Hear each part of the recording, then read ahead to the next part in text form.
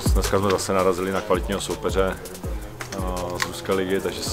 kvalitu jsme viděli. Jsem rád, jak, tomu, jak to kluci zvládli, jak tomu přistoupili, že ten zápas měl intenzitu, měl tempo, spousta osobních soubojů, myslím si, že i dobrých věcí, jak, jak do defenzivy, do ofenzivy, a že to byl pro, dneska pro tu druhou skupinu spíš mladší, to byl perfektní test, který si myslím, ve kterém obstáli a škoda samozřejmě, že jsme nevyhráli, ale i soupeř měl spoustu šancí a i když ten výsledek nebo dneska není důležitý, myslím si, že jedna jedna bereme, když my jsme měli spoustu šancí, ale i soupeř jsme pustili musím vyzvinout Čej Buďu, nejenom celý tým, že, že ten tým podržel, to je dobře. A byl to pro naše mladé kluky, kteří v té sestavě byli perfektní, perfektní zápas a které takové potřebují a, a ukázal nám, že je na, na čem stavět a od čeho se odpíchnout, takže jsme rádi. Musíme být spokojeni, protože samozřejmě mm, nějaká předpověď, třeba jenom počasí nebyla, nebyla příznivá, nepršelo nám celou dobu, počasí nám přálo a vydrželi jsme všichni zdravotně, takže si myslím, že takhle to musíme hodnit eh, pozitivně. Narazili jsme na spoustu kvalitních soupeřů, i když samozřejmě už jsem to říkal, výsledek v tomto období není vůbec důležité, vůbec jsme,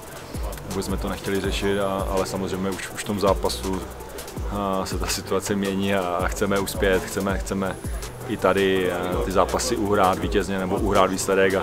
a jsem rád, že se nám to proti takovým kvalitním soupeřům podařilo a, nebo že jsme i, i zahráli slušné pasáže a jak už jsem říkal, je určitě na čem stavět a i samozřejmě jsme viděli spoustu chyb, na čem máme pracovat. A,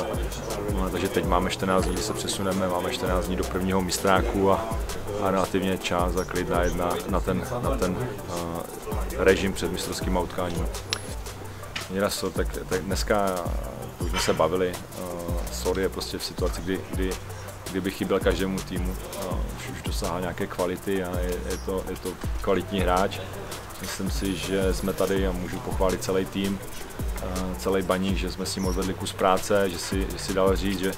že se za tu dobu posunul, takže myslím si, že to je vizitka kluků i, i kabiny, jak ho vzala, jak s ním pracovali a, a jsme rádi, že prostě tady, tady tí, my můžeme vychovat nebo posunout někde hráče dál a, a o tom taky ta práce je a, a asi je, je logické, musí všichni chápat, že z mého pohledu asi tady nešel dlouho udržet, jo, nebo a, ta nabídka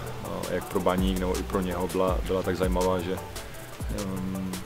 že by bylo těžké ho tady udržet, takže my jsme už od začátku nějak s ním, s ním asi počítali a věřím, že, že hráči, kteří přišli na ty křídla plus nám roste Peťa, věřím, že taky, s ním budeme pracovat, že, že ho prostě budeme muset budeme muset nějak nahrádit, i když dneska, dneska jsou rychlí hráči a, a, a pak je SOR, že jo? to je rychlost a, a to, to bude chybět každému týmu, takže budeme si muset zvyknout, takhle to ve fotbale chodí. Já nechci je úplně, úplně, úplně chválit, protože s nimi je to někdy nahoru dolů, ale dají si říct, mají dobrý přístup a v těch zápasech to ukázali, ukázali ochotu pracovat, zlepšovat se na sobě, takže věřím, že, že v tom progresu budou pokračovat. A, a my si musíme tady ty hráče vychovávat, nebo my musíme nejenom přivádět hráče, my musíme i, i, i si ty mladé zabudovávat a, a i v tom Bčku mít připravené hráče, kteří ví, co od nich čekáme a, a potom ta aklimatizace bude možná někdy i, i jednodušší než třeba hráčů, kteří přijdou zvenku, takže to, my to takhle vnímáme a je to jeden z našich úkolů toho, toho týmu nebo toho baníku a, a proto tady dostali ten prostor, proto s nimi musíme a budeme pracovat a, a musíme si vychovávat i, i, i naše hráče, kteří budou hned adaptabilní nebo, nebo, nebo schopní prostě nám pomoct třeba v zápasech.